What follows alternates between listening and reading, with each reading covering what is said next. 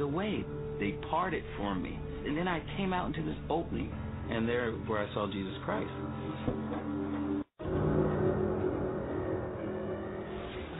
Back in 1927, an American socialist, Norman Thomas, six times candidate for president on the Socialist Party ticket, said the American people would never vote for socialism. But he said under the name of liberalism, the American people will adopt every fragment of the socialist program. He is more imminent, more. James Madison, in 1788, speaking to the Virginia Convention, said, Since the general civilization of mankind, I believe there are more instances of the abridgment of the freedom of the people by gradual and silent encroachment of those in power than by violent and sudden usurpations.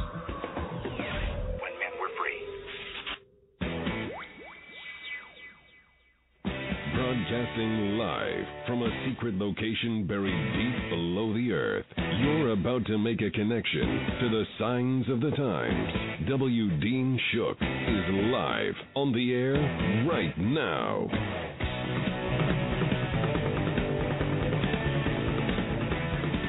Welcome in to End Time News. I am your humbled host, W. Dean Shook, bringing you the news the mainstream media doesn't want to touch.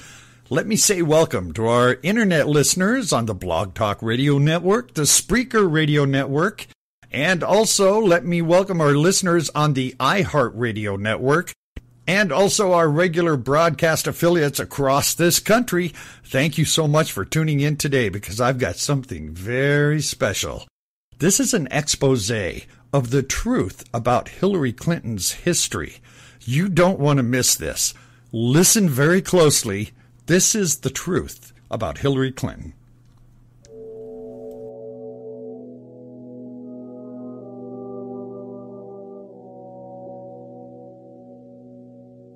She's driven by the power. She's driven to get the power. That is the driving force in her life. She does not answer questions uh, straight out. She is the expert of not saying what she believes. She will run on attacking Republicans and and being the first woman president. And oh, isn't that amazing? Oh, it's a woman. She can walk and talk. The thought here is it's all politics. Parcel out favors to individual groups, whether it's unions here or the farm block there. But she is steeped in controversy, steeped in sleaze. That's why they don't want us to look at her record. I would recommend that Hillary Clinton appreciate that she's not going to be, by any means, the candidate of American women. American women have diverse views on politics, just like men. At the core of almost every one of the investigations we did for eight years, uh, where there were problems, and I mean major problems with the Clinton administration, she was at the core of them. It's part of the Clinton method, which is say what you need to say at, at any given moment and rely on the lack of memory of the American public and the support of the mainstream media to support that lack of memory. Well, the 20 year plan really is that the Clintons share power. Uh, one would be president eight years, one would be president another eight years over a span of 20 years, with a little uh, Republican in between, perhaps. So, in essence, what happened is that Bill and Hillary, in their mid 20s, before they ever took their marital vows, they took their political vow. You know, a lot of people ask me, do we have to go through all these old Clinton scandals again? Well, I have good news for you. You don't, because you can look at the new ones, because Hillary Clinton scandals are a gift that keeps on giving.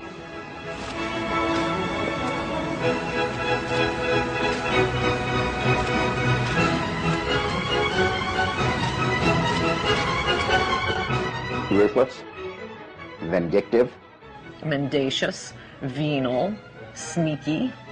ideological, intolerant, Liar is a good one. Scares the hell out of me. Looks good in a pantsuit.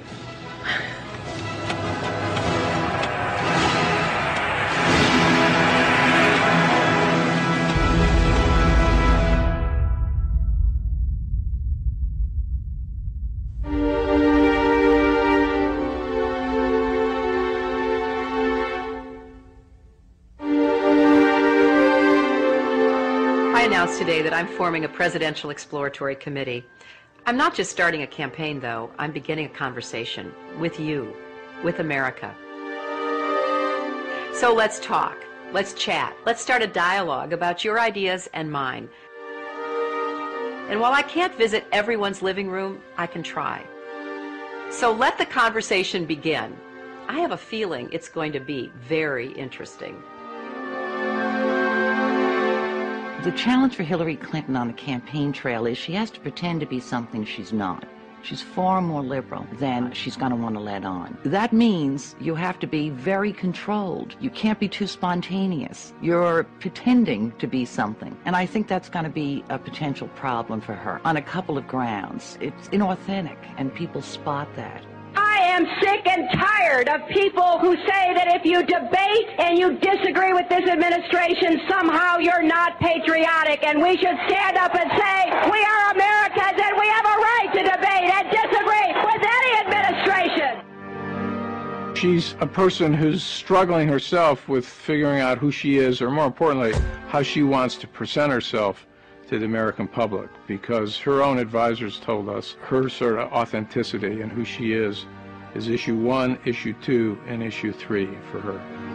I don't feel no ways tired. I come too far from where I started from. She's continually trying to redefine herself and figure out who she is and project an authenticity to voters who are, of course, wondering who is the real Hillary. Hillary Rodham Clinton. Could she become the first female president in the history of the United States? Her name is known by nearly every American, but who she really is remains largely a mystery. Hillary Clinton points to her time in the White House as a large part of her qualification for the job as president. But most of the news media has conveniently forgotten that her time as First Lady was mired in controversy. The core of the controversy is how truthful Mrs. Clinton has been in answering questions, sometimes under oath, about Whitewater and other matters. She was the first First Lady to come under criminal investigation. In both Little Rock and Washington, D.C., she was plagued by numerous scandals.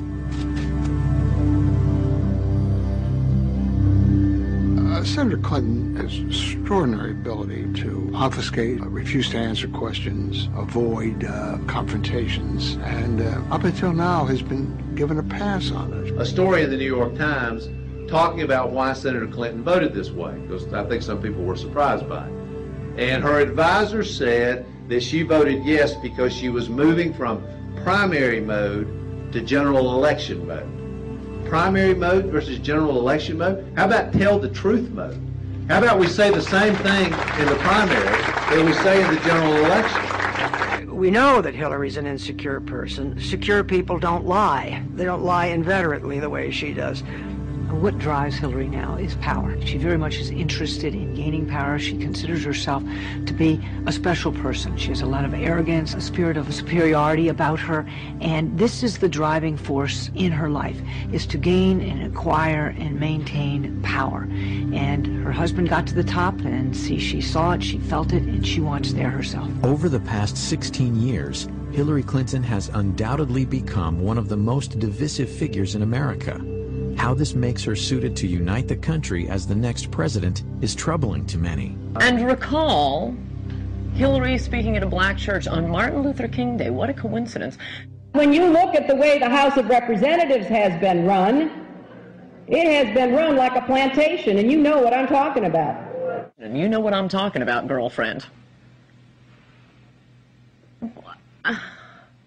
That's how she's going to get to power? By accusing the Republicans of running a plantation at a black church on Martin Luther King Day. That's it? Okay. After announcing her bid for the presidency, fellow Democrats, including former Clinton confidant and Hollywood mogul David Geffen, publicly questioned Hillary's integrity and truthfulness. Such breaks within the Clinton inner circle beg the question, what is the truth about Hillary Rodham Clinton? It's a recklessness that's born of arrogance that goes back to her 1960s roots in, in their narcissism.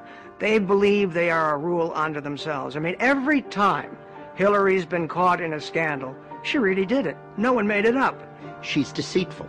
She'll make up any story, lie about anything, as long as it serves her purpose of the moment. And uh, the American people are going to catch on to it. So who is the real Hillary Clinton? Is she a brilliant trailblazer poised to make history as the first female president? Or is she ruthless, cunning, dishonest, willing to do anything for power? Because of your position or your husband's, might have given you some kind of unfavorable or, you know, uh, a favored advantage?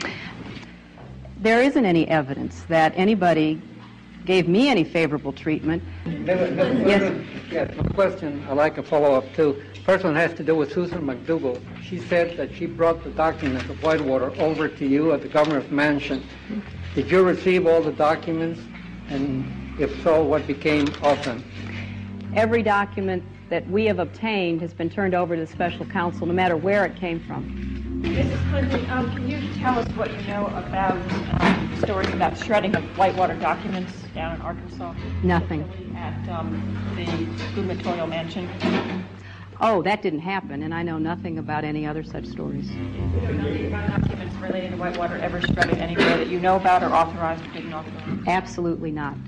When you look at all the skullduggery in the Clinton administration, all roads lead back to Hillary. It also tells us something about the character of, of the American media. I mean, they, they, they, they carry these people. Republican with that, with those numbers of character flaws, with that sort of behavioral problem and, and, and psychopathic psychology could not run or be elected to dog catcher if it were a Republican. The politics of personal destruction was a phrase popularized by the Clintons in the 90s to describe the attacks by what Hillary called the vast right-wing conspiracy.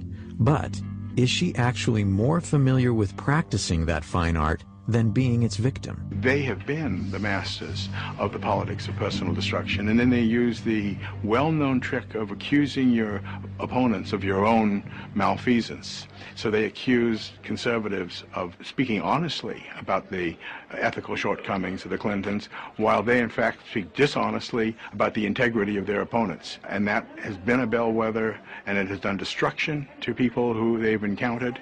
Even people in the Democratic Party will acknowledge the Clintons are particularly ruthless and particularly aggressive when it comes to campaigns. They war room. This is a military metaphor for the campaign the Clintons invented regarding instant responses that no matter what the validity of a charge, you don't explain the charge, you don't apologize for the charge, you don't admit any error, you automatically attack the integrity or the motivations of the other side.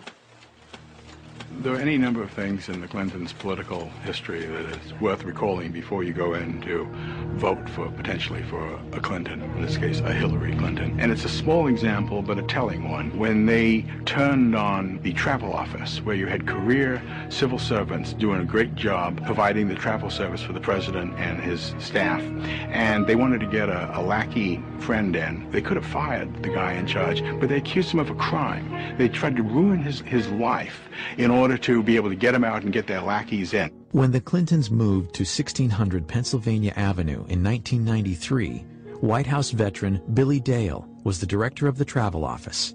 Dale had faithfully served seven previous presidents, starting with John F. Kennedy in 1961.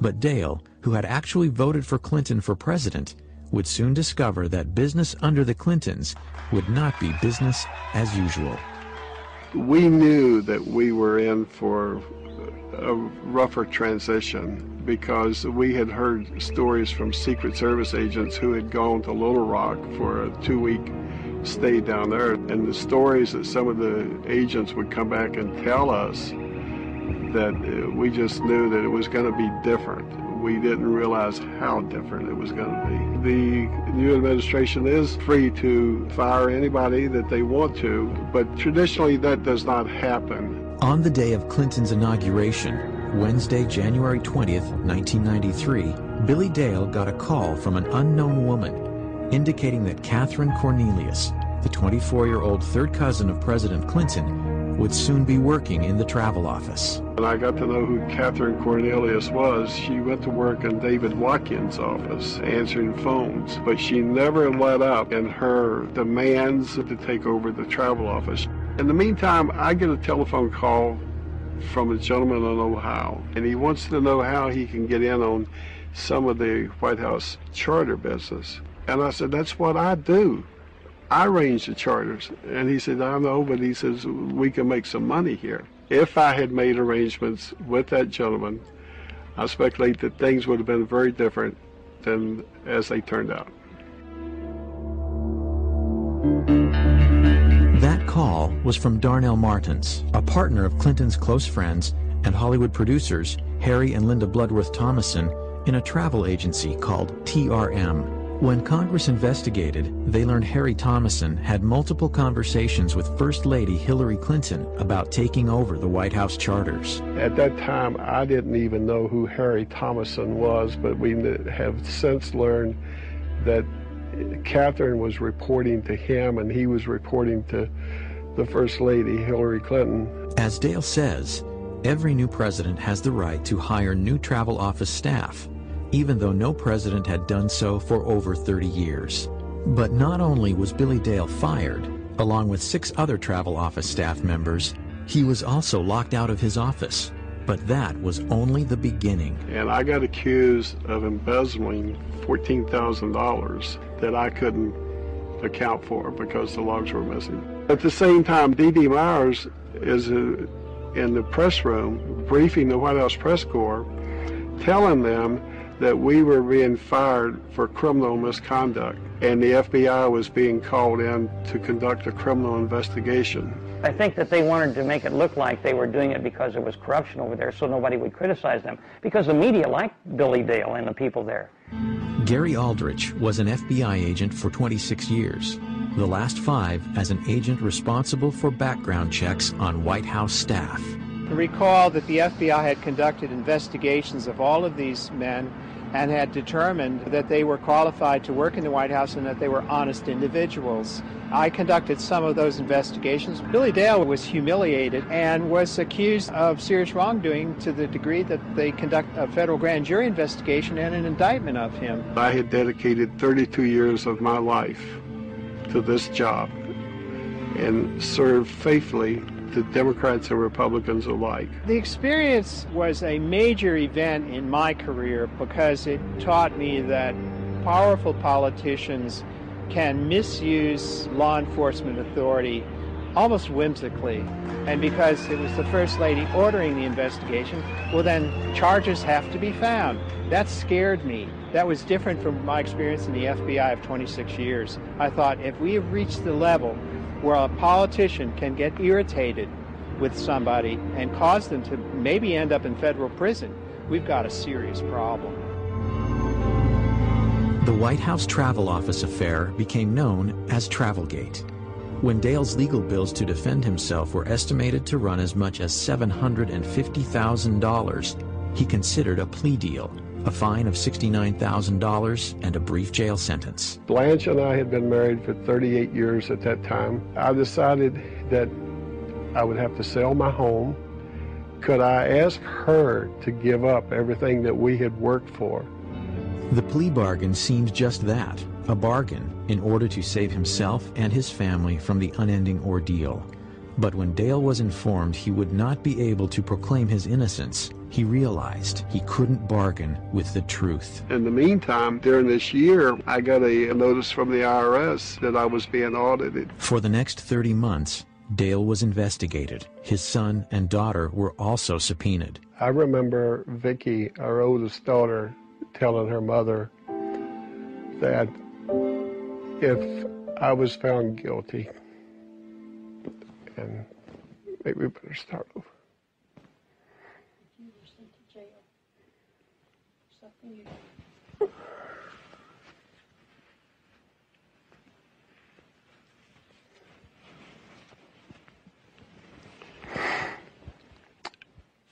I remember during my trial, Vicky, my oldest daughter, telling her mother that if I was found guilty and had to go to jail for something that I did not do, that she didn't know if she could live in this country any longer when the, the, the government would be responsible for doing something like that to her father.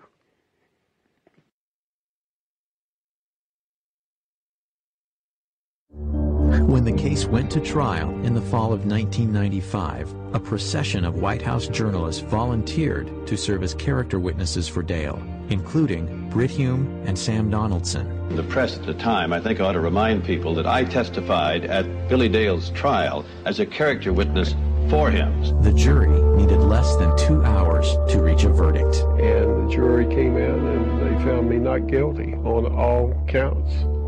I laid my head down on the desk in front of me and cried. Ultimately, the Office of the Independent Counsel's final report on the travel office firings found that Mrs. Clinton's sworn testimony was factually inaccurate. Hillary Clinton was more powerful as a first lady than any first lady that had been in the White House that I knew of.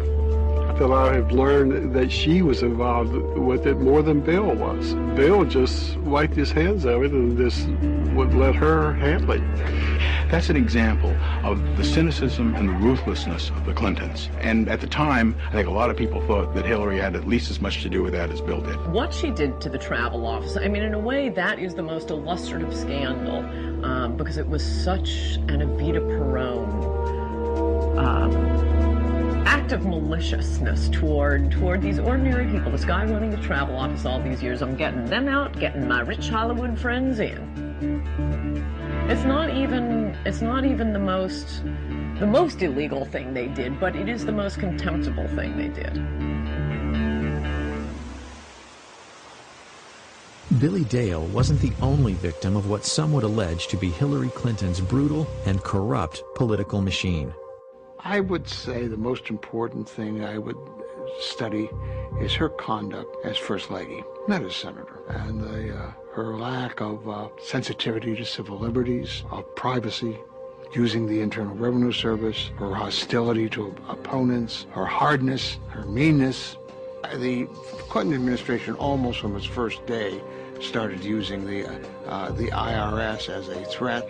I know a lot of tax lawyers, and they said the odds of someone like Paula Jones with her income being audited by the IRS um, is like being struck by lightning twice. Others would claim that using the IRS to harass political enemies was a Clinton White House specialty, one reminiscent of the strong arm of Richard Nixon. They're both very smart, very politically ruthless, very hardworking, great work habits. Uh, some of them not complimentary, very cynical, uh, willing to do things uh, that are beyond the pale of, of proper conduct. Proper conduct would not include using private investigators to intimidate. Those allegations come from several women involved with Bill Clinton, including Gennifer Flowers, Elizabeth Ward Gracen, Paula Jones, and Kathleen Willey. The scare tactics, you know, being followed, being audited by the IRS, their homes broken into. I mean, where does it end? Clinton supporter and campaign worker Kathleen Willey was a White House volunteer who alleges that President Clinton sexually assaulted her during a meeting in the private study off the Oval Office in November of 1993. I kept thinking to myself, what in the hell is he doing? I, I just, that's what I kept thinking. And, which sounds silly at the time, but I, I was, I was getting embarrassed for him if that does, that's just, you know, this is just not proper. You have to remember, this was at the time when there was a lot of speculation about his womanizing, and I was the loyal Democrat, and I would not allow myself to believe that that was true. I just, I just thought it was all just rumor. Willey believes that Hillary Clinton was well aware of the tactics used by the Clinton White House to intimidate perceived enemies. Willey says two days before she was set to testify against President Clinton in the Paula Jones sexual harassment case, a stranger confronted her. We passed, and he stopped, and he said, hey, Kathleen, did you ever find your cat? And then he said, rather ominously, um, yeah, that bullseye was a really nice cat. And that's what I thought, that something else was going on here. He stood back and he said, you're just not getting the message, are you? The Clinton attack machine immediately targeted Willey. However, there are corroborating witnesses. Jared Stern, a former Marine, later told congressional investigators he was hired to investigate Kathleen Willey during a clandestine nighttime meeting. It was late at night. He called me, asked me to meet him here in this parking garage. I met him, said he had something very important to discuss. I talked to him about it, uh, discussed the tasking, and then I left to carry it out. Stern declines to discuss what he was hired to do, but Stern has admitted he was so uneasy about it that he called Willey, using an alias. I made a telephone call to Miss Willey. I left a message on her answering service indicating that I'd try again the next day. And he left a message for me saying, be careful, that there were people out to get me. Jared Stern is a first-hand witness to what the, the Clintons are doing, have done, and are doing to these women. The Clintons are a unit. They share a zeal for power and a willingness to engage in any and all threat neutralizing strategies. Legality be damned. No one will ever say what happened to Kathleen Willey was an anomaly. That MO can be seen throughout the Clintons' political lives. It is consistent. Willey says her car was vandalized, her house broken into, and a cat's skull was left on her porch. Today, she still lives in fear. And I don't understand how any woman in this country could vote for a woman who does that to other people, who sets out to destroy and ruin the, these women who have crossed paths with Bill Clinton. They're power hungry. They stop at nothing. They stop at nothing. If you put me to work for you, I'll work to lift people up, not push them down. I finally parted company with Hillary Clinton when I saw how she was using private detectives to investigate the women who were linked to her husband. Not to change him, not to reform him, not to make him a better person, but to cow the women into silence so that he could get elected president. I do not want that woman controlling the IRS or the DEA or the NSA or the FBI or the CIA. Not in a democracy, I don't. I mean, think of what it says about about Hillary Clinton that she was willing to put up with with his open philandering with with anything in a skirt who wanders before his eyesight, all for the power. Um, at least with Bill Clinton, he was just, you know, good time Charlie. Hillary's got an agenda, and she's willing to put up with that to to be president of the United States. She she's got a to-do list when she gets to the White House. Hillary Clinton's Machiavellian behavior, her tendency to manipulate, deceive, and destroy for personal gain, is nothing new. This woman, now a hero to feminists, gained much of her power during the Clinton presidency from her ability to deal with her husband's infidelities. Bill was always heavily involved in the policies of his administration, but he left chasing down his women and silencing them, pursuing the scandals and lying about them, escaping culpability for any of the things in their past to Hillary. She was his Nixon. She was his evil equivalent. She was the one who made sure that nothing got to him uh, because she was so good at it. And she was.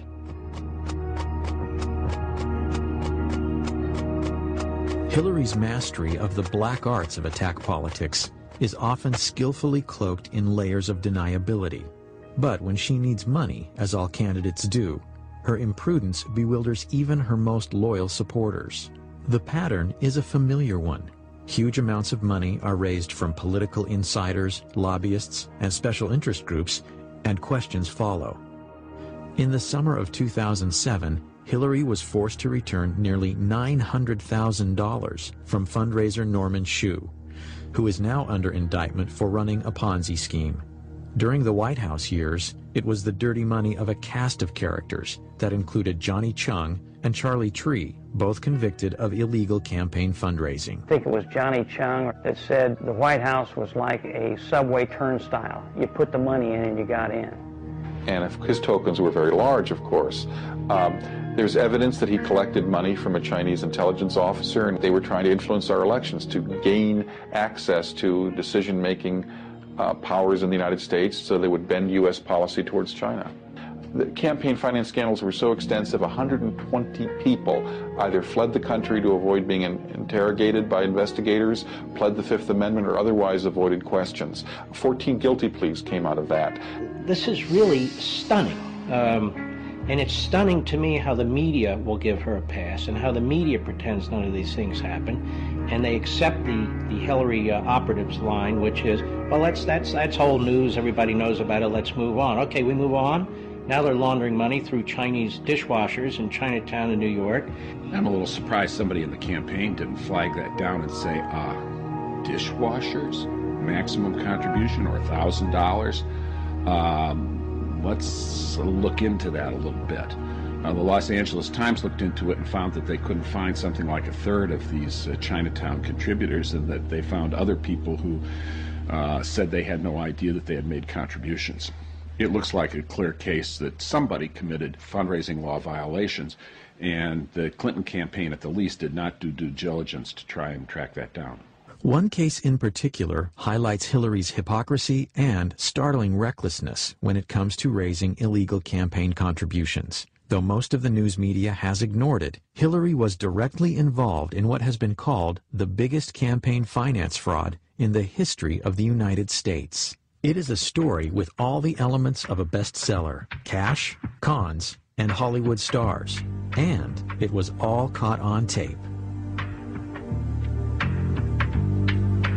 Few businessmen have seen the career heights and depths of Peter F. Paul. I've been fortunate to spend time with some of the world's most celebrated figures of the 20th century. One of my idols was Salvador Dali. He had a big influence on the way that I directed my life. In the early 1980s, Paul, a Miami lawyer with a past criminal record, including convictions for cocaine possession and fraud, headed to Hollywood for a fresh start as a promoter and producer. After doing various projects in Hollywood, I decided after meeting a fellow who was a uh, out-of-work uh, model that uh, there was an opportunity for me to prove that I could cultivate a media icon. Within 18 months, I had him on the cover of People magazine. Ultimately, it led to my first meeting with the Clintons, uh, with Hillary Clinton, actually. In February of 2000, Peter Paul met with Hollywood charity fundraiser Aaron Tonkin. Tonkin was a celebrity-obsessed con man who in just a few years went from being homeless to one of the Clintons' top money contacts in Hollywood. Like more than a few Clinton associates from the past, Tonkin ended up in federal prison for unrelated fundraising scams. Aaron, it's Hillary Clinton. I just wanted to call and wish you well for this evening. It was a growing new relationship. I don't know where it ultimately would lead, but I suppose not in a good place because all the people that I met around them, that I dealt with in different events, have all gone to prison. And these are very close people, mainly to the president. Through Tonkin's connections to the Clintons came an interesting offer. In exchange for donations to Hillary's 2000 Senate campaign, Paul would gain access to Bill Clinton for business opportunities once Clinton left the White House. I had uh, become a very close friend of, the creator of Spider-Man, Stan Lee. And we had started a company together in uh, late 1998. So I embarked on this effort to try to hire Bill Clinton when he left the White House as a rainmaker for the company, Stan Lee Media. We had a, a, luncheon at Espargos for 12 people who were influential in the community, and we also raised some money for Hillary. And at that point, I indicated that my plans were to hire Bill when he left the White House. She responded by saying that she would help if I became a major supporter of her campaign. In June of 2000, Paul agreed to finance what would be the largest and most lavish political fundraiser ever staged in Hollywood. It consisted of a concert, a dinner, and a reception. In my office on July 17th, I got a phone call from Hillary Clinton Paul, who had a habit of videotaping many of his encounters with Hollywood or DC Power players, says this tape is evidence of two criminal offenses committed by Senator Hillary Clinton. The tape seems to indicate Clinton's participation in the planning of the event, violating federal election statutes. I think that uh, whatever it is you're doing, I, is it okay that I thank you? I think it's tremendous. No, you know what? We're having a good time trying to help out. Well, I'm, I'm very appreciative. It sounds fabulous. I got a full report from Kelly uh, today when she when got Hillary that. says she's not sure about what she can or cannot say, is she admitting that her input on the event could be illegal? I think that uh, Whatever it is you're doing, I, is it okay that I thank you? Hillary Clinton refers to Kelly. Kelly is Kelly Craighead, Hillary's senior staff assistant at the White House. Hillary's confirmation that she had been fully briefed on my progress and that she would be involved on a personal basis whenever needed, committing a violation of the federal election law. I know I talked with Cher, and uh, you know, she was just great. Just said, you know, she really was excited, and I hadn't talked to her, so you had to have really done a good job selling it to her and her reference to Cher being induced to contribute her singing services. All of them colluded to hide this from every investigation.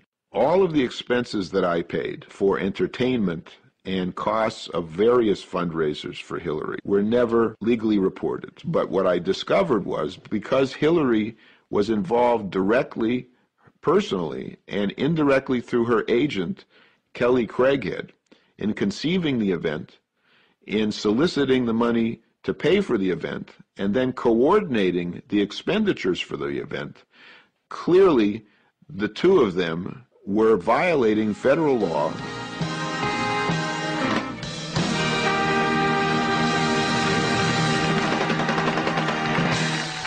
Ladies and gentlemen, the chairman of Stan Lee Media, Stan Lee. I just want to welcome you all to the Hollywood salute to President William Jefferson Clinton. It was the biggest event ever produced in Hollywood for a president. Muhammad Ali, John Travolta, Brad Pitt, Shirley MacLaine, the Steenburgen, the Gregory Peck, Cher, Diana Ross, Patti LaBelle, Toni Braxton, Melissa Etheridge, Sugar Ray, Michael Bolton, Paul Anka. We had over 100 stars. The entire leadership of the Democratic Party was there and it was it was a magical evening. But just two days later, the magic was gone. The Monday after the event, I got a phone call from Ed Rendell telling me that the Washington Post was asking questions. The position that Hillary Clinton would take was that she hardly knew me and that I didn't give any money, and that if I was smart in order to maintain my deal, that I would go along with that. The Washington Post bombshell questioned Hillary's decision to associate with Paul, given his criminal past. The Clinton camp implied they weren't aware of it. I had been vetted six times. My house had been prepared for a presidential sleepover. And the president allowed me to put my name on 25,000 invitations. It's impossible to think that they didn't know that I had federal convictions, which anybody that uses the internet can find with, within four clicks. Peter Paul was basically paying for the entire event, and he was held at arm's length. He wasn't invited to the White House, and they did not really want to interact with him. And I, it never really dawned on me because I, I really didn't understand those part of politics it works, that they do a vetting process. Amazingly, the Clintons continued to solicit money from Paul, even after publicly distancing themselves from their newfound friend. On August 24th, a fax was sent to my office on Hillary's letterhead, the Hillary Clinton for Senate letterhead, by her finance director, David Rosen, asking me to transfer $100,000 in stock. And here you have a smoking gun document, which is on her letterhead, faxed to my controller with the wiring instructions to send $100,000 worth of stock. That's illegal I became Hillary's biggest donor. No one made any reference to concerns about my credibility, my truthfulness, or my, my ability to honestly do business. You know, Hillary has no problems with me as long as I'm writing checks. From there, the Paul case takes twists and turns no screenwriter could imagine. Stan Lee Media collapses. Paul is indicted on two felonies in connection with trading of Stan Lee Media stock.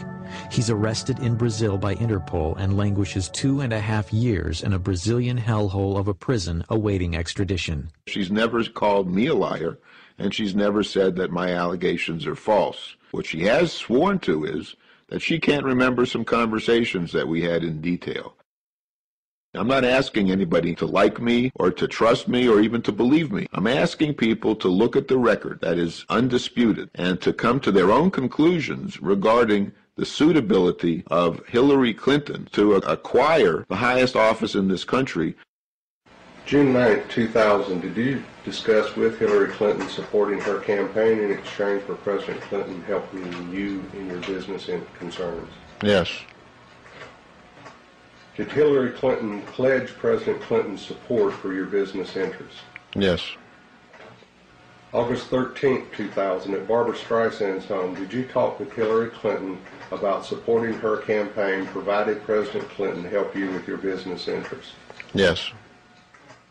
I've been analyzing polygraphs since uh, 1995. I attended the Department of Defense Polygraph Institute. I would say Mr. Paul has been truthful in his answering the questions concerning the issues administered in the polygraph. It was the most lavish affair of all. But her campaign said that it cost 400,000, not 1.1 million, so that they could use the other 700,000 for the campaign and use it to buy advertisements. Now the question is, did Hillary know it was a mistake? Of course she did. Number one, she was there and she knew it couldn't have only cost 400. Number two, she frequently urged Peter Paul to hold down the expenditures for it. Number three, after the forms were filed with the FEC, Peter Paul told her they were inaccurate, and Hillary continued to file inaccurate forms. And finally, the FEC investigated it and concluded it did cost 1.1 million. I want to thank Stan Lee and Peter Paul and Aaron Tonkin for their extraordinary hard work and leadership on this.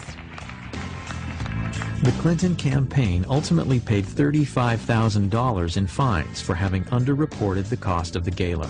Aaron Tonkin says both Senator Clinton and her finance director, David Rosen, knew of his illegal financing schemes, including how he reimbursed celebrities who donated to Hillary's Senate campaign. They wrote a check where I told them to write it, the Senate 2000 from the invitation they received, and then I reimbursed them either one or 2000 depending if one or two people came. I told her National Finance Director David Rosen, and he just said, "Don't tell me anything like that." And um, I told the um, FBI. Is it possible that the senator from New York and former First Lady, the most experienced of all the candidates, was completely unaware of her finance director's dealings? Peter Paul awaits sentencing for securities fraud. He vows to spend the rest of his life trying to expose what he characterizes as Hillary's chronic pattern of corruption. Well, I think that, like William Safire said in the New York Times, Hillary's a congenital liar. Even David Geffen, who was a supporter of hers, uh, commented on her facility with lying. If she can do this as publicly and in such a, a, a gross and unvarnished way, then imagine if she got additional power in the White House and what she would do with that. I can't think of any other politician in history who has shown such a disrespect and a contempt for the Constitution and the rule of law as Hillary. And, and I represented Richard Nixon's best friend, and uh, I knew Richard Nixon. And I'll tell you something, she's no Richard Nixon, she's worse. One of her great claims um, throughout the 90s and in her present career as, as senator is that she'll say, oh, this is all old news. Well, it's old news because the Clintons are repeat offenders. They've been doing these things going right back to the 1980s.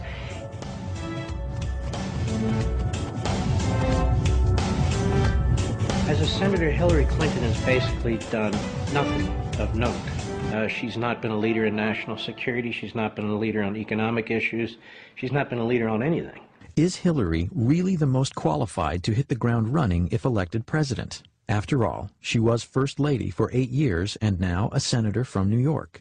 Referring to her opponents, she said, quote, there is one job we can't afford on-the-job training for. That is the job of our next president.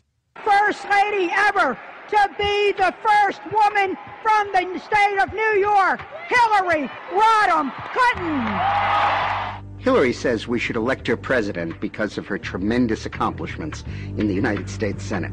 Well, she's passed roughly 20 bills. Let me tell you what some of them were. To commemorate the 225th anniversary of the American Revolution, to express our appreciation to Alexander Hamilton, to name the Thurgood Marshall Courthouse in Lower Manhattan, to honor the men's and the women's lacrosse high school team from Syracuse High School, to express the sense of Congress that Harriet Tubman, who died over 100 years ago, should have received a federal pension. But is that the legislative gravitas and qualifications on which to elect a president of the United States? Is she kidding? During her Senate campaign, Hillary promised to create 200,000 jobs, largely to benefit economically depressed upstate New York. And if you help me get elected, I'll work day and night to put this plan in effect for the people and children of New York. I'm Marshall Brown. I'm the owner-operator of GMB Farm. I grew up here with my father, but we sold out in 1985, and I started back up in 1987. I milk cows every day of my life for 20 years.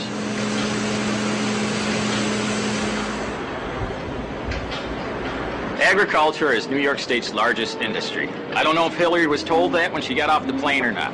Dairy farming is the largest segment of that. Three years ago, Hillary Clinton came to Oswego County. She said she had a plan for the dairy industry. Like all her plans, she never gives any specifics, but it's going to make everything all wonderful for us. Two years after she gave her I Got a Plan speech, the price of milk dropped to the same level it was in 1979, and I'm losing my ass.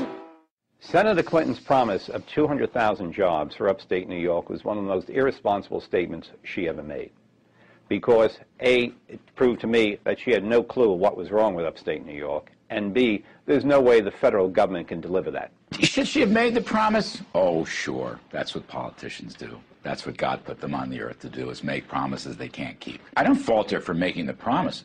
I falter for making bad votes in the Senate against the very tax cuts that would have helped the state of New York. No, the Bush tax cuts were the only hope upstate New York had of competing.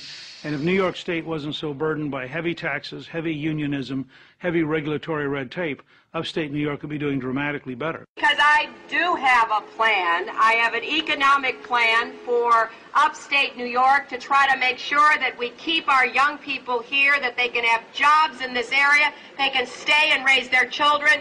Between 2000 and 2006, over 1 million New Yorkers moved out of the state for economic or financial reasons. Today, in the upstate town of Clinton, New York, many of Hillary's constituents aren't pleased with their senator.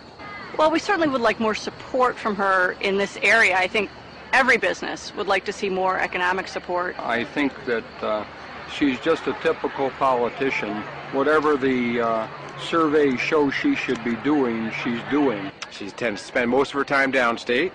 That's where the votes are primarily, and uh, sometimes we feel forgotten up here. She cares more about her consumers, her food stamps, her welfare programs than she does the American farmer that's producing the food. When the American farmer is eligible for food stamps, there's a problem. Which I am. As a presidential candidate, Hillary has made other promises that may also prove difficult to keep. My plan does not create a single new government department, agency, or bureaucracy. It is not a government takeover of health care. It is a public-private partnership that provides more choices. Her sweeping health care reform proposal comes with a price tag of nearly $110 billion per year.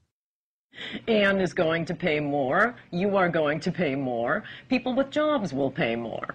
That's why she's so popular with women with needs, but not so popular with women with jobs. Hillary's first effort to socialize health care came in 1993 during her husband's first term. Widely perceived as a disaster, many say it provoked the Republican Revolution. I mean, certainly you have to ask whether or not she's learned a lot from that experience. It was a failure. She knows it was a failure. It was a very embarrassing failure for her. Where have you seen the government make anything more efficient and less costly and more effective by its presence? Where have you seen that? As I've said on many occasions, I still have the scars to show from what we tried to do back uh, in the first two years of Bill's administration. The effort to kill Hillary Care was really good common American sense. Americans uh, know a bad fish when they smell one. Everything Hillary wants for America is what Canada does for all of its people, any one of whom that has five extra bucks in their pocket comes across the border to the United States for health care services. I think it's worth remembering, uh, after her health care fiasco, the Clinton team put it aside. They gave her ceremonial duties thereafter. She was more like a Pat Nixon than she was like an Eleanor Roosevelt from mid 94 onward because Bill Clinton's professionals recognized she'd made a hash of the one big policy she'd been given. She was essentially out of the White House in 95, 96, and I know because I was there most of that time. She was visiting China. She went to 70 foreign countries. She wrote a best-selling book, did book signings. Then when the Lewinsky scandal broke, she came back to Washington and in 98 and 99 led the effort to keep her husband in office and in 99 and 2000 spent her time running for the Senate in New York. Many Americans believe our healthcare system needs improvement. But what is Hillary's solution? Hillary is really the closest thing we have in America to a European socialist. She really believes that government should vastly expand its efforts in the areas of health care and education, and she wants to increase taxes to do it. From 33% as it is now, up into the mid 40s and high 40s as it is in France and Germany. I'm going to take $10 billion away from a lot of these uh, industries, starting with money from the HMOs that are getting too much out of Medicare, starting with the no-bid contracts for Halliburton, starting with the defense industry that needs to be pared down and reined in. I've been very clear about that. And as she talks on the campaign trail, um, her purpose of government, as she sees it, is to remold society for the common good. The common good in this case means government. It means Washington. She wants government to be in control. She wants government to direct the economy. The other day, the oil companies reported the highest profits in the history of the world. I want to take those profits and I want to put them into a strategic energy fund. She expects to use the government uh, to to become extremely involved with the lives of the people in this country because government knows best. So when she talks about nationalizing health care, She's not kidding. She's been at this now for 10 years. She wants to take over the healthcare system. What might Hillary's healthcare plan look like? Welcome to Yuma, Arizona. In my practice, about 70% of the care is paid for by Medicare, federal government, and another 20% is paid for by the state. So essentially, we're a very socialized medical community here. But with so much free health care available from the state and federal government, abuses are inevitable. One of my favorites is a patient of mine who was actually a drug runner. His books didn't tally, and to teach him a lesson, they blew a hole in his foot with a shotgun down in Mexico. Well, he went to the closest medical hospital in Mexico where medical care was free, and they were going to amputate his foot. So he hopped up to the border, literally, and at that point, uh, demanded an ambulance, which by our emergency medical laws we have to supply. So we got an ambulance to him, we brought him to our emergency room. I asked him, I said, let me guess, this guy's insured, right? And, and uh, my friend said, oh, actually, he has Medicare. This guy's been wanted for years on four federal warrants. We're giving him his Social Security check every two weeks. Critics say Hillary's healthcare overhaul is not unlike what citizens of Canada or the UK now experience. Yes, much of it is free, but is there a catch? The waiting lists get longer and longer. You can wait six months to see a specialist. That's socialism. When you're standing in a line waiting and waiting, that's socialism. I'm thrilled that uh, universal health care is back on the national agenda. You know, as we remember back in 93 and 94, we tried to come forward with the plan. We weren't successful. I have the scars to show for that experience. Medicine should be between one physician and the patient not between an army of bureaucrats and the patient. If people give their health to the government, what does the government not control? The federal government from 3,000 miles away is not your doctor. Hillary's health care is one of the few Clinton campaign platforms that contains specifics. But on other issues important to Americans, what does she believe? But on specific issues, I've come out with very specific plans. With respect to Social Security, I do have a plan. But personally, I am not going to be advocating any specific fix until I am seriously approaching fiscal responsibility. Do you, the New York Senator Hillary Clinton, support the New York governor's plan to give illegal immigrants a driver's license? I did not say that it should be done, but I certainly recognize why Governor Spitzer is trying to do it. No, no, no. You said you said yes. No. You thought it made sense to do it. No, I didn't, Chris. It makes a lot of sense. What is the governor supposed to do? Do I think this is the best thing for any governor to do? No. obviously she hadn't been coached on. And if she's not coached, she's, despite the fact that she's intelligent, she is so uh, insecure uh, and so loathes the give and take of real politics that she just seizes up. And she sure seized up when those questions were asked her. Now, finally, for the first time, everyone talks about, well, Hillary talks about how, oh, they were so mean to her, they were so mean to her. All that happened in that debate was that I think it was Tim Russert in that debate engaged in the old journalistic practice of the follow-up question. That's all. That's all it took, and you know, all hell breaks loose because Hillary's asked to actually tell us what your position is. You know, it raises the question: uh, Can you withstand the criticism in the way that any president has to? Uh, because there's going to be a lot of it for any president at any time, even the most propitious times. And uh, if you're going to you're going to whine about people complaining about you, that doesn't suggest uh, presidential stature or character. I can support the president. I can support an action against Saddam Hussein because I think it's in the long-term interests of our uh, national security. If I had been president in 2003, I never would have started this war. And if it is still going on when I am president in 2009, I will end it. I was one who supported giving President Bush the authority if necessary, to use force against Saddam Hussein. I believe that that was the right vote. If I had been president in October of 2002, I would have never asked for authority to divert our attention from Afghanistan to Iraq, and I certainly would never have started this war. So it is with conviction that I support this resolution as being in the best interests of our nation, and it is a vote that says clearly to Saddam Hussein, this is your last chance disarm or be disarmed. I stand for ending the war in Iraq, bringing our troops home. We're going to have troops remaining there guarding our embassy. We may have a continuing training mission, and we may have a mission against Al Qaeda in Iraq. There's one Hillary who says, I'm going to bring the troops home right away when I'm elected president. Another Hillary who says, I'm going to keep troops in Iraq indefinitely. One of these two women is lying. I think she did that as long as she thought that it was still politically advantageous to support the war effort. Once 2006 kicked in and the war became quite unpopular, at least for a while, uh, then she started moving to the anti-war position, reversing her positions which she held only months before. Not because uh, her heart uh, was full of, uh, of uh, pacifistic leftist tendencies, because she thought it was the politically expedient way to go. Flip-flopping on a driver's license is one thing, but words do matter, particularly when they impact the lives of our soldiers and their families. He loved being a Marine. He looked me square in the eye and he just said to me, he said, Dad,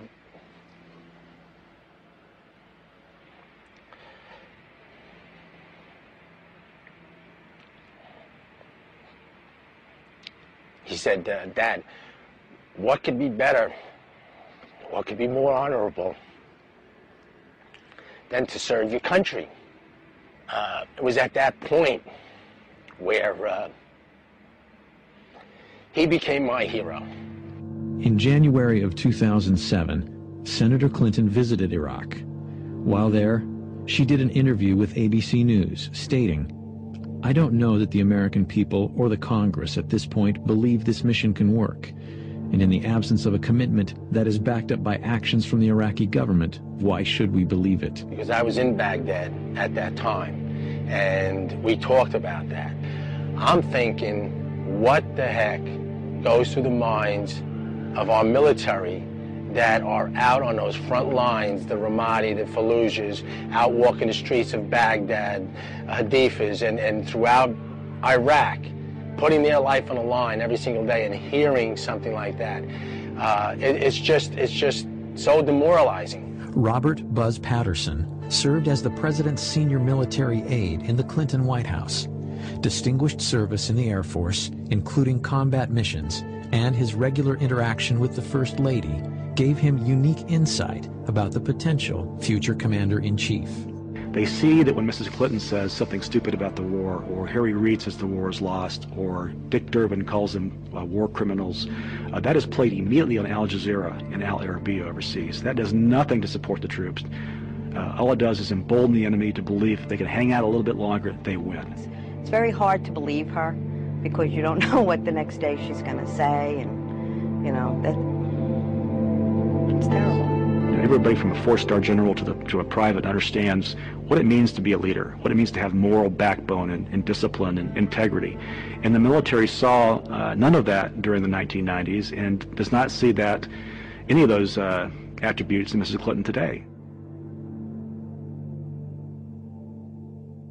If we do pull out and we do not complete this mission, my son's sacrifice would have been in vain, along with the other fallen heroes. If, if a legislator does not like the war and decides enough already with this war, then cut off the money. They're entitled to do that. But above all, it's not up to a legislator to try to outguess uh, military strategists. That's not their job. So you say again, okay, well, she's flipping, she's flopping. No, she's not flipping and flopping. She is lying. She will not take responsibility for calling and asking our good, brave soldiers to put their life on the line. She will not take responsibility. Every Democratic candidate, they all want to just get out of Iraq, just whatever it takes. When the fact of the matter is that you can't have good security in Iraq until you've dealt with, at a minimum, Syria and Iran because they're the ones who are arming, training, and running a lot of these terrorists. The war on terror isn't the only issue where Hillary is trying to have it both ways. When it's politically expedient, Hillary campaigns on her husband's presidency. But when the polls say otherwise, she abandons their record. But you can't be as selective in terms of you know, cherry picking and making determinations uh, that she's now suddenly the face of foreign policy, that she you know, shaped economic policy, except for the stuff that didn't work out, uh, in which case that was somebody else's problem or somebody else's fault. Ladies and gentlemen, you have just heard uh, a stunning illustration of my real campaign slogan. Buy one, get one free. Uh, this is as much about Bill Clinton as it is Hillary Clinton. I mean, for purposes of this election, it's one and the same. Buzz Patterson carried the nuclear football for President Clinton. While serving in the Clinton White House, he learned firsthand about the former First Lady's qualifications.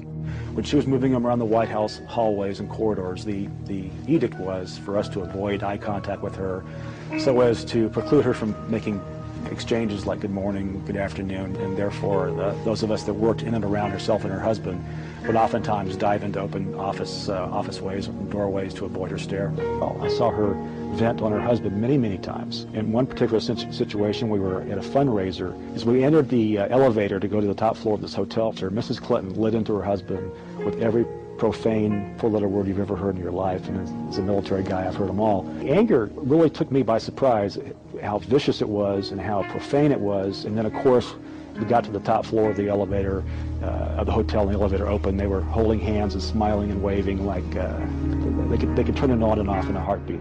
Both Clintons are well aware the war on terror could be the key issue in Hillary's run for the presidency. Both have been quick to fault the Bush administration for failing to prevent the 9-11 attacks, while absolving the Clinton White House of any missed opportunities. There were many times, eight to ten that I'm aware of, uh, in the 1990s that we had a chance as a country to, to capture bin Laden or to kill him, eight to ten. And every, every time we had a viable opportunity, uh, Clinton chose not to pull the trigger. You know, and I'm certain that if my husband and his national security team had been shown a classified report entitled Bin Laden Determined to Attack Inside the United States, he would have taken it more seriously than history suggests it was taken by our current president and his national security team. Patterson says that's laughable. He says President Clinton was briefed by multiple U.S. intelligence agencies of al Qaeda plans to attack the United States. We knew about the potential. For Nick specifically pointed to the possibility of using hijacked airliners into the Pentagon, CIA headquarters, and it also talked about New York City.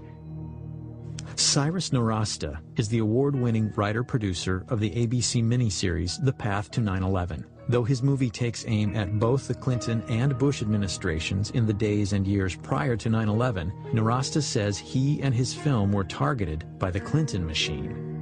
There was a huge coordinated campaign to discredit the movie and me and get Disney ABC to pull or recut the movie. In the weeks just prior to air, Nowrasteh's home address and email were posted on various pro-Clinton websites. I got death threats at my house, I got hate mail, and they set about basically trying to destroy us and stop this thing from airing. Intimidation included five senators, led by Harry Reid, sending a letter to Disney ABC threatening to revoke their station licenses if they didn't pull or recut the movie. You got to understand these phone calls, the threats on the internet, these bloggers, all of these people out there, none of them had seen the movie. This was all political spin, and it was generated by ex-President Clinton from his offices in Harlem, where he met with all of these bloggers to specifically discuss countermeasures uh, against the ABC broadcast, The Path to 9-11, and how they could get it pulled from the air. Disney ended up cutting about three minutes from the over five hours of the broadcast. So I'm going to show that to you now. They have the compound surrounded. They Same know where bin Laden is. Mr. Berger, is this something And what they need to do is coordinate with Washington. So they're on satellite uh, phone communication with Sandy Berger, Richard Clarke, George Tenet, et al. from Washington to basically get the final green light to go ahead with this operation. Our people are in place. Now, it's been confirmed that Osama bin Laden is in the building on the site. You are the national security advisor. Can't you give the order? Look, George, if you feel confident, you can present your recommendation to the president yourself. So if it all goes bad, it comes down on my head, like Janet Reno in Waco. The buck stops down the hall.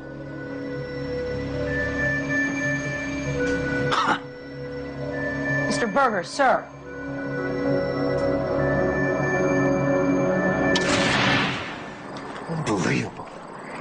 Did they abort us? Yes. It's shocking that ABC would, would bow down to Bill Clinton on the path to 9 11. Um, it's shocking that Bill Clinton would ask. You can't imagine Walter Mondale doing that. I don't even think you could imagine Jimmy Carter doing that. President Clinton has said he never got that close to getting Osama bin Laden. But national security experts have said on the record that the path to 9-11 was accurate. The path to 9/11 got it right. That's why they were ups- upset. We exposed uh, the hot button truth that they've been trying to bury for years. The $40 million project was a rating smash with nearly 28 million viewers. It later received seven Emmy nominations. But if you want to catch The Path to 9-11 on DVD, you can't. ABC Disney won't release it. Why would they pass up millions of dollars in DVD revenue? I think the initial attacks were really about uh, President Clinton's legacy. However, now, a year later, with the DVD being suppressed, I think it has become about Hillary's run for the White House. All I can say is uh, what the exec at ABC told me, which is if Hillary wasn't running, this wouldn't be a problem. Hi, Mr. Berger. How you doing? Hello, everybody. I have just a brief statement. Last year, when I was in the archives re- re- reviewing documents, I made an honest mistake. It is one that I deeply regret. Former Clinton National Security Advisor Sandy Berger pled guilty to stealing and destroying highly classified documents from the National Archives and lying to investigators. I might say it seems Sandy walked out of the National Archives with some PVDs in his BVDs and some classified docs in his socks. I was surprised and astonished uh, when I learned that he had taken documents out of the National Archives, stuffed them in his socks. Uh, I have written that the only reason Berger might have done this was at the behest of Bill Clinton or someone of similar stature who wanted information or, you know, single copies of unique copies removed from the archives. The papers reportedly revealed Clinton's response regarding the Millennium Bomb plot and Sudan's offer to turn over bin Laden in 1996. But because Sandy Berger destroyed these critical secret documents, the American people may never know the truth about these events or the Clinton administration and 9-11. The documents that he stole pertain specifically to the sequence in the miniseries that they were upset about. I believe they are criminally guilty of distorting history. There was a smoking gun in there in terms of what the Clinton administration knew about bin Laden. Sandy Berger had a mission. That mission was to go in and clean up history, clean up mistakes, destroy any evidence of uh, error uh, or culpability to uh, actions that led to 9-11. He accomplished that. He basically paved the way for her to move forward and give Bill a free pass. I mean, it's that simple. Sandy Berger was fined, lost his security clearance for three years, and was disgraced, especially in Washington. But he has resurfaced. Reportedly, Berger is now an advisor to the presidential campaign of Hillary Rodham Clinton. It's either that he's really good at foreign policy, which I doubt, or he knows something, or they owe him. And I think that's what it is. Do I think uh, he should be advising Hillary Clinton? I think he's a perfect candidate to advise Hillary Clinton. He's sleazy. He broke the law. He will do her bidding. Uh, he should be her chief of staff, as a matter of fact. Hillary is tough on terror as long as it's popular. But once again, the real Hillary Clinton remains a mystery. We went through all the speeches that were posted on her website, some 200 of them, and there's no speech that's about counterterrorism or talks about the threat to the homeland. Whatever Mrs. Clinton took away from the 9-11 experience is now slipping away. Or perhaps she never meant it in the first place. But as far as I know, Senator Clinton simply has not wanted to discuss with clarity and certainly with uh, the kind of authority you would expect from a now senior member of the Senate Armed Services Committee, that we are at war with a totalitarian ideology. I'd like to see a president in either party uh, who is going to be honest about the nature of the danger and willing to stand up and say this is what needs to be done, even if it's not popular at the moment. She doesn't seem to have any instinct to be able to do that, whatever her high intelligence might be. Who is the real Hillary Clinton? Clinton scholars and writers hoping for an answer were shocked to learn that, despite Freedom of Information Act stipulations, after three years, the Clinton Library has only released one half of 1% of its records. This is the mentality of a tyranny, and yet the media treats this as if it's no big deal. It is a very, very big deal. We paid for those documents at that library. Much of our money goes into that library. It's a federally run operation. The Clinton Library is known locally as Little Rock's Fort Knox. Nearly two million pages of records covering Hillary's years in the White House are locked away, clouding her role in policymaking. Over 300 Freedom of Information Act requests are pending. Well, that's not my decision to make, and I don't believe that any president or first lady ever has, but certainly we'll move as quickly as our circumstances and the processes of the National Archives permits. This idea they're claiming now that that um, oh we're, we're trying to release them, we're trying to as fast as we can, but but the library just won't let us release them. You want the papers released, order the papers released. They're your papers. A tendency of this administration from the top all the way to the bottom is to withhold information, to resist legitimate requests for information, to refuse to be forthcoming about information that is of significance and relevant to the jobs that all of you do and the interests of the American people. I think the American people have a right to as much of a public record as possible about Hillary Clinton. Those records should be released before the 2008 election so we can learn a lot more about exactly how much influence she had in the White House, what her positions were in the White House, and how she acted in the White House. Character is defined as what we do when we think no one is looking. By that standard, many critics say the Clintons are sorely lacking. On January 20th, 2001, President Clinton issued 140 pardons on his last day in office.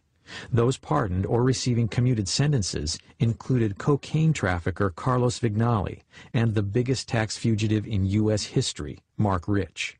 As much as those pardons reveal about Bill, an earlier pardon may have revealed even more about Hillary's character and her willingness to do anything to get elected.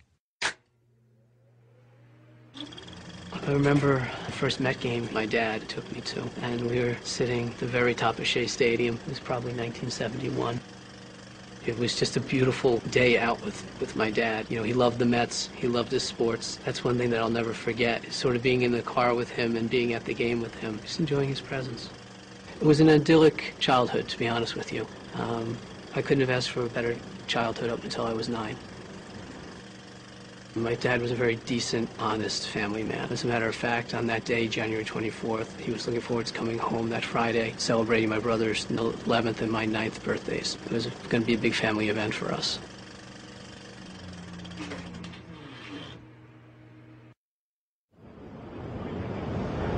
Fraunces Tavern has an extraordinary place in American history. It's where the Sons of Liberty met. It's where George Washington bid farewell to his officers at the end of the Revolutionary War. And it's also the place where Frank Connor, my father, was murdered in 1975. On January 24, 1975, I was working as surveillance on the west side of Manhattan, and the sirens started to go off. Just an endless stream of fire trucks, police vehicles going down to the southern end of Manhattan. A short time later, turning on a radio, easy to find out that there had been a bombing at Fraunces Tavern. Nobody dreamt that this was a daytime bombing of a restaurant in New York City in the United States of America because it simply was not the sort of thing that happened in America. The senseless bombing had been perpetrated by what was arguably the most active terrorist organization in U.S. history, the FALN. But in 1975, the FALN was a newly formed, previously unheard of organization that through deadly violence advocated complete independence for Puerto Rico. I kept hoping and thinking that maybe he's under rubble trying to get through and there's a mistake. It really didn't happen, that he was okay. My mom says now that all she wanted to do was run. She wanted to run out the door and keep running. I remember I was a little tiny nine-year-old and I was one of the guys that picked me up and I was sort of punching him in the back, not knowing what, how to react to something like that.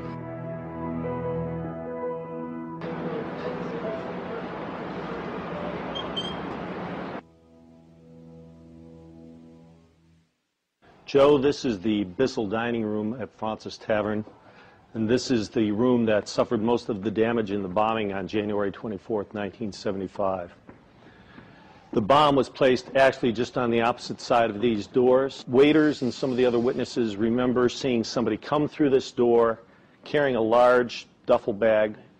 Uh, he looked around the room. One of the waiters was about to approach him and tell him to, that he had to leave when he stepped back out apparently left the bomb outside. This was a typical FALN device. It was a quantity of dynamite, right. included propane tanks, which was one of their trademarks in building their bombs in the early days, and a simple timer, a wristwatch altered to serve as a timer to set off the device.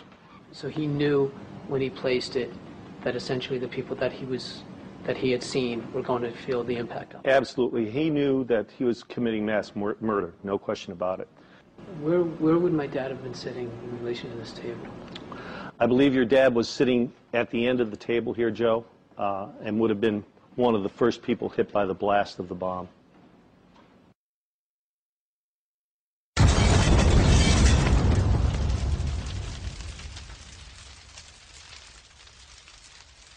Joe, the bomb being just outside this door here, when it functioned, much of the blast came of course, through into this room, knocking down this door, and that shock wave would have taken everything in the room and just made missiles out of it.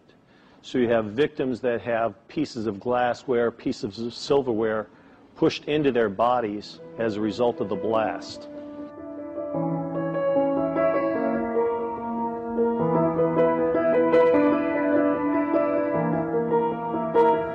Do, do we know why they chose the time, the place, the day? The communique that they left said that they were trying to kill capitalist, imperialist pigs in Fraunces Tavern, and specifically cites Fraunces as being the target. Four died, and more than 50 were injured.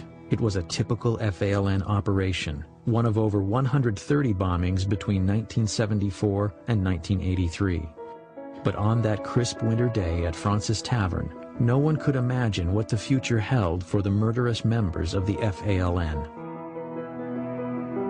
Hillary's biggest problem running for the Senate was that she wasn't a New Yorker. And how is she going to appeal to the specific ethnic groups that make up the New York State electorate? So, in September 1999, right in the middle of her Senate campaign, she was approached by City Councilman Jose Rivera, who really is a spokesman for the Hispanic community in New York, who gave her a packet urging the pardoning of the FALN terrorists. And included in the packet was a letter to Hillary asking her to use her influence on her husband to get these pardons granted. And two days later, they were. Freedom came today for most of the 14 Puerto Ricans who accepted President Clinton's controversial gift of clemency. Eleven of them, who describe themselves as nationalists, some others describe them as terrorists, were released from federal prisons around the country. It made no sense. Not one of the incarcerated FALN terrorists had requested clemency or had expressed any remorse. In fact, prior to that action, the Clinton administration had granted clemency in just three cases out of over 3,000 applications, according to the Office of the Pardon Attorney at the Justice Department. It was putting a political agenda of the Clintons above my father's life. Sandy Berger appeared on television a day or two after the pardons were granted, or after the clemency was granted, and stated that these people were not personally involved in violence. That's simply not the fact. In this case, these people were convicted of planting 36 bombs in Chicago. If that's nonviolence, then Mr. Berger's dictionary is a little bit different than mine is. Department of Justice uh, received a memo from the FBI saying that under no circumstances should these people be released. The President of the United States, who had access to all this information, ignored the facts of the matter. You have to ask yourself, who benefited from this besides the terrorists themselves? It's my view that have concluded the only other person that could have benefited from this was Hillary Clinton. The Senate, on a 95 to 2 vote, later denounced President Clinton's FALN clemency.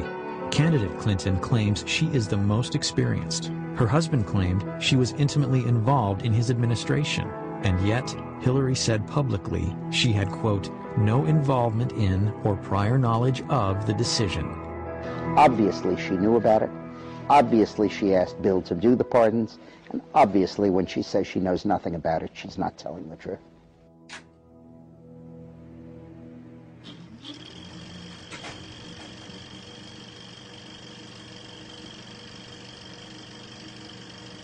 How dare they?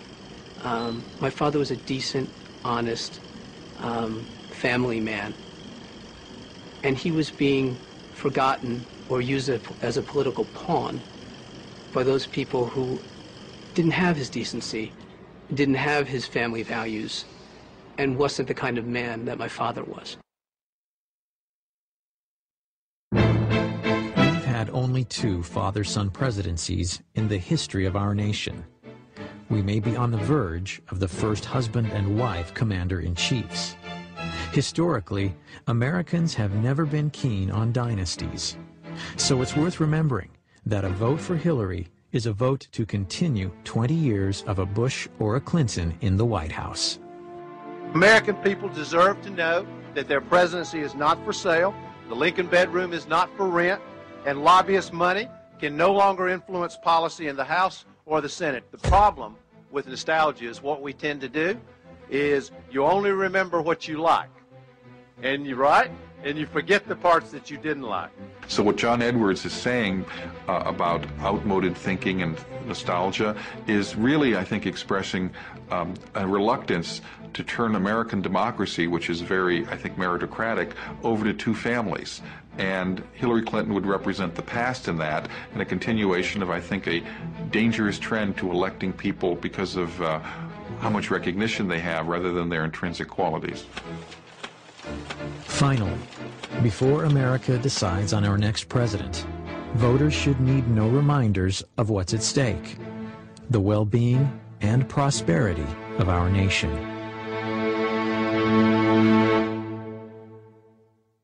We uncovered a radio show that Eleanor Roosevelt, her heroine, did in 1934. Eleanor Roosevelt was asked during the show, when will a woman become president? Her answer, when a majority of the American people have trust and confidence in the integrity of her. And that's the challenge that Hillary faces. It's been said, and I agree with it, that this is the most personal political choice that Americans make. We're very interested in their personality traits, their person that they can trust, they would like. That's where I think Hillary Clinton as a candidate has great defects.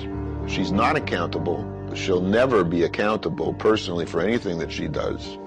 And her personality is such that she believes that the end justifies the means, no matter what uh, those means are. If she weren't married to Bill Clinton, what is there that she has accomplished in her life that would lead you to believe that she should become the most powerful person in the country?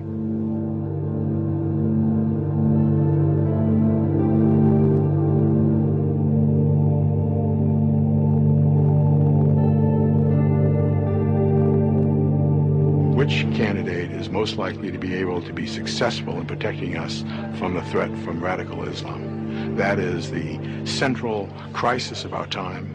If she reverts to form, Hillary Clinton will likely be in the future what she has been in the past, which is a person, a woman, a politician of the left. And I don't think that's going to be good for the security of the United States. She can't favor English as the official language of government, has said she can't favor it. 85% of the American people favor English as the official language of government. I think there are a number of big issues where you'd have a very clear contrast. She favors liberal judges. 91% of the American people favor the right to say one nation under God. The bigger this campaign is, the bigger the choice is, the more trouble she's in. What will be important, though, and this is some baggage she has to deal with, is the idea of a co presidency, the idea that Bill Clinton will be back in the White House. Because I think when he left the White House, people had had enough. I can't imagine that Americans want to go back to to the 90s and the country being dragged into this this ugly, dysfunctional family drama. I certainly don't see Hillary Clinton as someone who can unify the country. Uh, President Bush didn't. I don't think she would either.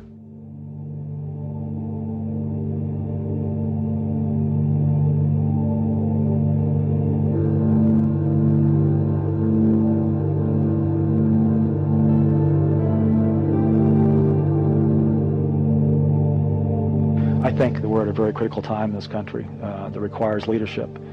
And uh, I can tell you, beyond a shadow of a doubt, that uh, Hillary Clinton I know is not equipped, not qualified to be our commander-in-chief. This vote comes down to one thing liberty. Do you believe in liberty or don't you? Economic liberty, free speech, protecting our borders, uh, protecting our country from terrorism. The issue is liberty.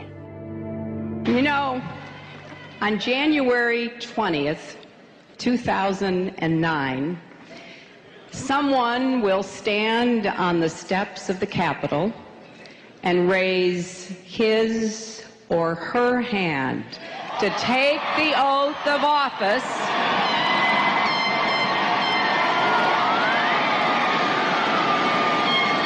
as the 44th President of the United States of America. We must never underestimate this woman. We must never understate her chances of winning.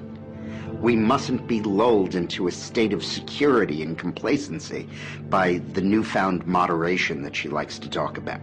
And we must never forget the fundamental danger that this woman poses to every value that we hold dear. You see, I know her.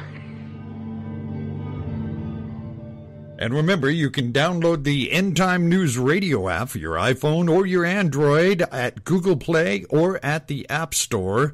Or you'll find a link on the webpage at wdeanshook.com. We'll see you next time.